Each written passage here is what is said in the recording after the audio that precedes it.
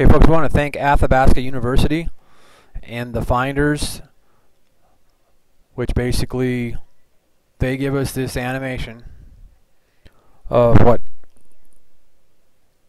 the asteroid belt in front of Earth, as we've got the moon and the Earth down on the bottom.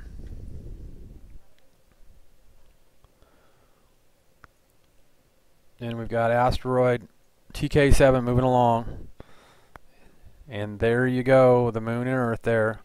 And this is it's moving around. And it keeps pretty much in that action an idea that this has actually been even I think I've seen a news report one time on I'm not going to say which one because it's all propaganda anyway they're all owned by you can look up who owns the majority shares of each one of any of the broadcasting companies in America and the world and the idea that that's the propaganda they want to sell you their story okay so that's is probably about where we're at right now because uh, we had the all-time close of in 94 and the idea that this should be moving back away from us now and like I say this is all thanks to Athabasca and I'll give a link to the finder's site and so forth and so on the scientist or you know whatever he wants to call himself uh, so this is animation. The sun's in the middle.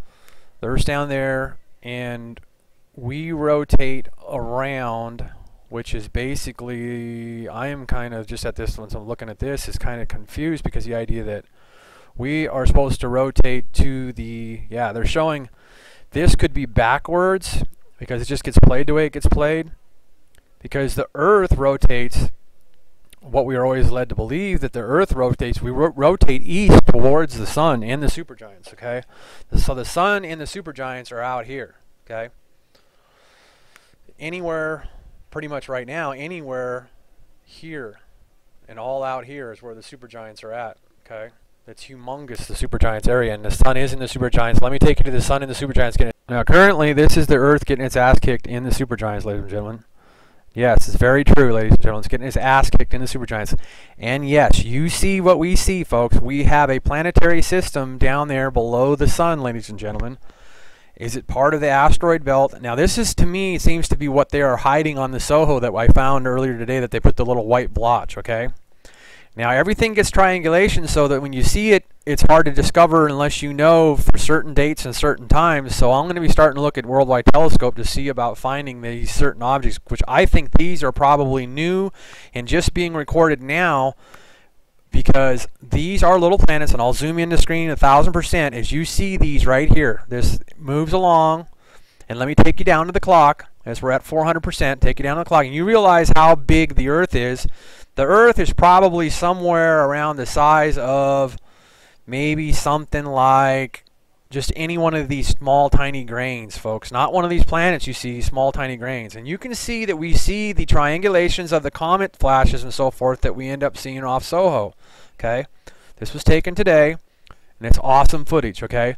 And I can just basically keep it here and move up to 1000 and keep on getting these objects and watch the clicker and the time and everybody should be able to find these and we basically are finding stuff right along with NASA in the world astronomers because the idea that they find this stuff on SOHO on satellites right along with our tax dollars because we pay for this stuff. So let's go ahead and zoom this in. Now I'll take you back to that footage and zoom in, but remember this is LASCO 2, which is basically, I believe, uh, yeah, it should be on behind. And this is going to show you, and I'll zoom in real fast like I did in the last video. These are planets and everything behind the supergiants. So people are starting to realize that I'm telling you the absolute truth that there is stuff in the supergiants as the sun is in the supergiants. Let's zoom in on this. These are planets, folks. Planets, objects in space that are humongous, okay? Because the Earth is small. The Earth is probably no more larger than, and even though this object is way far back, we are no larger, Earth is no larger than more than likely a grain down here, folks. Just some kind of a grain, not even these. These objects are all bigger than Earth ourselves. We are hiding out. We are safe because we're like a little rabbit hiding in a hole, folks. Okay? There are planets moving around there in a quad. Okay? I.e., this is more than likely the asteroid belt blown up out of the SOHO shot today. Okay? And you can't fake it. We're coming down here and you'll see the light change. Well, even in a black and white photo, folks, you'll see the light. You see the darkness come in, okay, and then we come back to the light of the sun, and there's asteroid belt. Because when they show you the blue Soho, they have got the arm twisted around, and this is up in the right-hand side of the blue Sohos that you see. Okay, this is blown up at a thousand percent, folks, so you can see this stuff. Okay, so realize how big this stuff is. Okay, because we'll pop to the percentage here real fast, and we'll blow it down to 400 and you'll see what they're blocking out on the left hand side of this of this Soho shot here okay? And that was on the right hand side up there so they were blocking stuff out and just realize how humongous that stuff is there too. And these are all behind and ahead are pretty much basically positioned like you know they are. Go to solar images and you'll be able to see how it's positioned. You can also go to NASA and go to Soho and see where the and they're not going to move into this stuff. They can't move into this stuff it's uncharted area for those they're going to try to keep those satellites out of there. And they probably will do a darn good job of keeping those satellites out of there. So folks, with this clock, and you see this moving, and they move right around the sun, like we do, we rotate, we rotate on our axis, and we basically ro rotate counterclockwise around the sun. Now I could be wrong on that, that because that guy's player showed different. But you, as you can see here also, the, the massive objects near the supergiants. I mean, in the supergiants, and it's massive, the supergiants, okay? And you can see the lesser material up that way, okay? So let me blow into a 1,000 and go through this video and take a look at these objects here in space, okay? And you'll have the clock going. And here we go, folks. We'll be able to zoom in on these objects and be able to come back down to the clock, and you'll realize that I'm not giving you no hocus pocus, okay? So, and I'll even probably zoom out, but this is a close look at a thousand real fast of these objects. Basically, humongous distances we're looking at, folks, and that's in this satellite shots, okay? And this is the objects that they are blocking out on you on the blue shots that they don't want you to see. And since the player has to do, deal with giving us the thousand, you see the overlays of the shots because that's how they do it, satellite photos, folks bam, bam, and then they piece them together and then put the movie together and give you the movie. And then they also keep out what they don't want you to see. So there still could be something here at a thousand percent that we don't get to see, folks. And this is just playing. I'm not moving around right now. So you, this is just photo overlap of the shots put together from the satellites, okay? And you get to see these objects going through space. So either they missed it or they decided it was okay for us to see these objects moving through space, folks. And as I zoom out, you will understand, and then I'll give you the clock, and we'll start zooming out, and you will understand that the idea that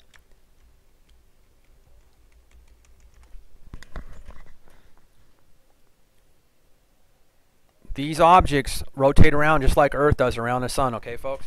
Let's keep zooming out. And those are those planets rotating around and they're very close to the sun, but yeah, so they're in a very dangerous area because as you see the sun flare, now I don't know if these are closer to us towards Soho ahead or Soho B because we know where they're at. They're sitting safe and staying uh, like a V action back from the sun to uh, Earth right now. We almost have a triangulation. The sun and Earth are at the north and south points, and Soho B and A are at left and right. And you can go to solar to, and you go to anywhere to figure that out. And I'll be telling you the truth, and you know the truth is about the supergiants. If we keep these satellites up and we don't see the satellites moving, because we can control the satellites and keep them there, okay? We can freeze the satellites by going back and forth in the orbit and not letting them keep their orbit. Because we have to keep them away from the supergiants, okay? So you're going to start seeing frozen orbits of the Soho satellites. There was a big solar blast. Let's try to see if we can see what time that solar blast comes up on the clock down here and freeze that. So I'm going to miniature down a little bit more and see what time we get that blast. And wow, that's I'm going to okay. Got to go back and see about that. And I want to reverse. So there we go. Let's get back to that blast. And as we see, some stuff is making it the sun flare normally, and then holy buckets, folks, 912. Check that solar blast out. Like I say, ladies and gentlemen, the sun is getting its ass kicked in the solar in the supergiants, folks. Now we kind of figured that Rigel Kentaurus B or some of the other big material that's came by the sun and is more than likely in front of it now. Rigel A even, which was astonishing yesterday because that gives us where that's at. So check out. You got to watch the last half dozen videos, folks. If you haven't seen one, and pretty much every one of my videos, if you haven't seen it, you got to check it out. So we're going to zoom in on this shot because we got some wild looking stuff right there. Okay, so you know we were at the solar blast and we moved in on this objects down here and check that out. There's a unique triangulation and very solid in space because the idea, i.e. the fact that it just didn't get blown away by the like a comet or a smaller object would get blown away and then you get other dark objects that are, are dead planets that don't even have a luminosity, a luminosity, or when they were created didn't have it. And check that out.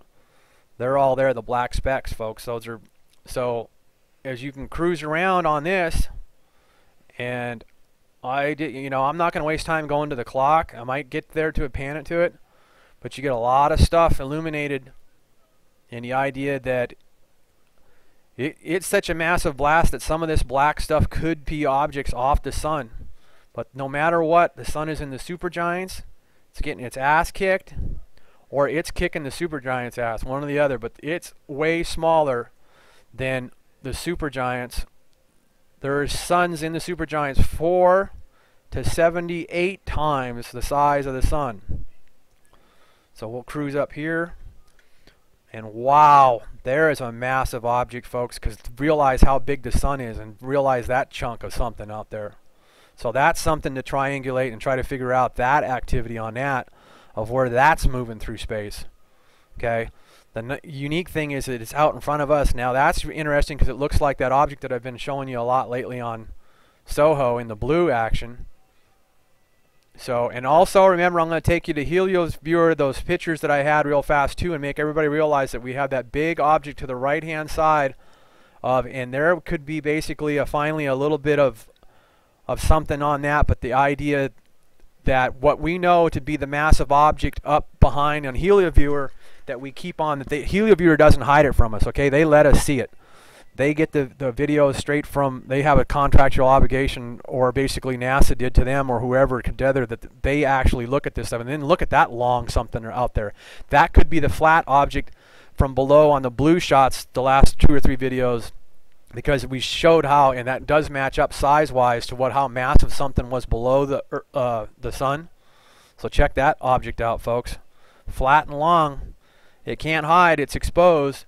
So basically, that's pretty much our. We're going to show the panties off space pretty much here, folks.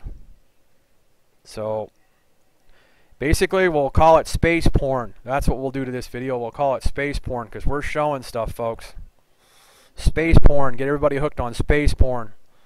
All right. So let's go take a look at HelioViewer. And yes, again, we have the clock times here, and that's something to go, if you can still get this on HelioViewers, to go watch all these clocks. They should stay synced, otherwise they're hiding something else from us, okay? But uh, as I go through these pictures, I'm going to have some of them where the clock doesn't show, okay? I'll try to stick in here with the clock, and you can see our massive object that for a long time everybody was getting on here and telling us it's just a glitch of the camera it's just a dirty lens it's just this it's that that object is there so you can zoom in on it take these to painting on whatever software you got and use this here it'll see, show you Lovejoy going through and then it's going to come out backwards it'll come out with that tail uh, if we are to believe that that's what it is but then that's another thing is as we go through here is it takes off out of this shot and realize the size of the sun on this shot. So what we are still seeing on fire in the SOHO, as you see, it's gone. Okay? At that time, it's gone. So what I really do believe we still have seeing up there is idea something around Mercury or Mercury is on fire. Okay? And we know this is humongous, and that's what the uh, you have to look it up. You can still, I believe, find videos on YouTube of the space shuttle footage of, and I showed a video a long time ago of it, and it's uh, got like an enumeration like uh, mass, mass 2 or mass 22 too, and it could be the same object, but it's humongous because you can see that, that size of that object compared to the sun and it's still there. And we always get it blocked out from us on the Soho shots, okay? So being the holidays, I can really pump out